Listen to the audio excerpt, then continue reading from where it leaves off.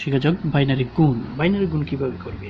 আচ্ছা ধরো একটা নাম্বার বাইনারি সংখ্যা আছে one zero one into one one তো এটাকে আমি সহজভাবে সাজিয়ে নিই, অর্থাৎ আমরা যেভাবে ছোটোকালে করেছিলাম সেভাবে দেখো জিরো ওয়ান এটাকে ওয়ান ওকে রাইট তো ওয়ানের সাথে ওয়ান গুণ দিলে ওয়ানই করতে হয় ওকে জিরো ওয়ানের সাথে ওয়ান আচ্ছা।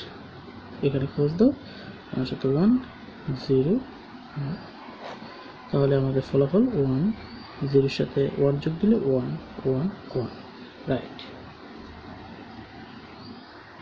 তো এবার দেখো যে ওয়ান ওয়ান দশমিক জিরো ওয়ান অর্থাৎ ফ্লোটিং টাইপের একটা বাইনারি গুণ কীভাবে করতে হবে? ওয়ান ওয়ান দশমিক জিরো ওয়ান ইন্টু দশমিক zero one one zero okay তো এটাকে এইভাবে না করে আমি এইভাবে সাজাইলাম ওকে রাইট তো তুমি গুণ করার সময় মনে করো দশমিক নাই দশমিকের কোনো কাজ নাই, মনে করো আপাতত।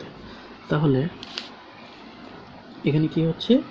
জিরোর সাথে যদি কোনো সংখ্যা গুণ দাও, zero zero zero zero zero, okay সব কিছু জিরো। এখানে একটা ইয়ে দেও, ওয়ানের সাথে one, zero, one one one, right? Okay. তো এটা ফলাফল জিরো যোগ দিলে zero zero one one one তাই তো? এখন দেখো, এখানে দশমিকের পরে কয়টা সংখ্যা ছিল? একটা, দুইটা, এখানেও একটা, দুইটা, চারটা। তাহলে এক, দুই, তিন, চার। বাস, তুমি এই চার গোট আমার হিসাবটা করবে এমনি দশমিকের পর দুইটা, এই দশমিকের পর দুইটা তো টোটাল চারটা সংখ্যা। তো আমি এইভাবে যাব, এক, দুই, তিন, চার। চারটার আগদা তুমি দশমিকটা দিয়ে দিবে। রাইট বুঝতে পারছি। আমরা যদি আরেকটা দেখি, ধরো ওয়ান ওয়ান ইন্টু ওয়ান আবার আছে one zero into one okay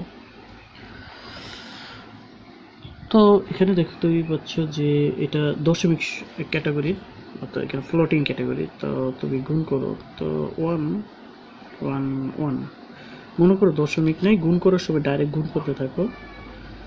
এটা কি আছে? এবার আমি জিরোটা করব। জিরোর সাথে সব কিছুই তো জিরো হবে, তাই তো? ওকে। এই ওয়ানটা করো। One one one. যোগফল নামাও। যোগফল এখানে one, okay. One one one. কত হচ্ছে? টু, তাই তো?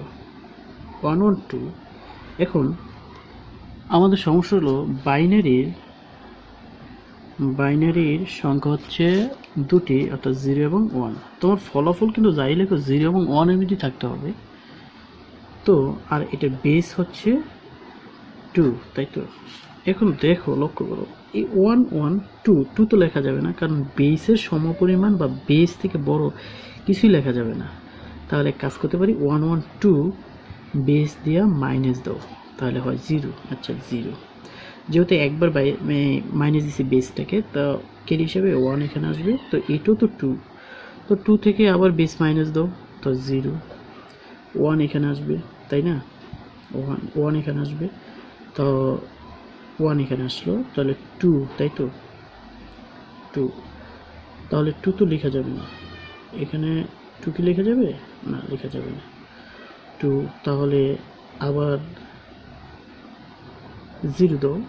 আবার জিরো তো কারণ আমি টু থেকে কী করছি এই এখানে যেহেতু ক্যারি হিসেবে ওয়ান আছে তাহলে দুই দুই থেকে আমি দুই থেকে বেস দুই মাইনাস দিয়েছি তাহলে জিরো ওয়ান এখানে আসলো।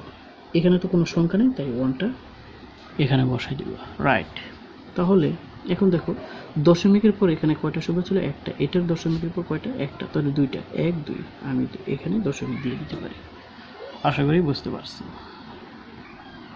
তো আরেকটা যদি প্রসেস দেখি, তো আমি বলছিলাম যে দশমিক কি আছে না আছে এটা দেখে লাভ নাই, তুমি আগে গুণ করো। তো এখানে আছে জিরো। ওকে। জিরোর সাথে সবই গুণ করলে জিরো হয়। ওকে। রাইট। এরপর ওয়ানটা করো। ওয়ান আছে। ওয়ানের সাথে zero zero. One one okay right এটা করো ওয়ানের সাথে ওয়ান ওয়ানের সাথে জিরো ওয়ান ওয়ান এবার যোগ করো।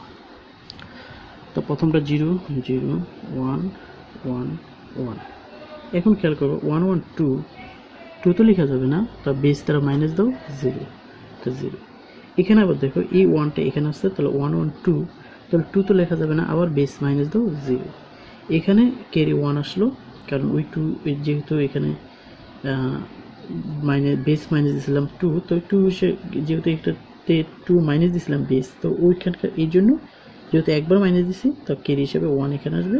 যেহেতু এখানে কোনো সংখ্যা নেই, তার মানে এটা ওয়ানই বসবে। এখন খেয়াল করো, এখানে দশমিকের পর কয়টা সংখ্যা ছিল? দুইটা। আর এখানে দশমিকের পর কয়টা? তিনটা। তাহলে দুইটা, তিনটা, কয়টা? পাঁচটা। তাহলে আমি এখান থেকে বলব এক, দুই, তিন, চার, পাঁচ। ওকে, আমরা পাঁচটা সংখ্যার আগে আমরা ফুল স্টপ দিয়ে দিলাম। ওকে, বুঝতে পারছি। রাইট তো তাহলে আজকে আমরা বাইনারি গুণ কীভাবে করলাম সেই সম্পর্কে অবশ্যই জানতে পারলাম। তো নেক্সট ক্লাসে বাইনারি ভাগ কীভাবে করতে হয় সেই সম্পর্কে আলোচনা করব। আল্লাহ হাফিজ।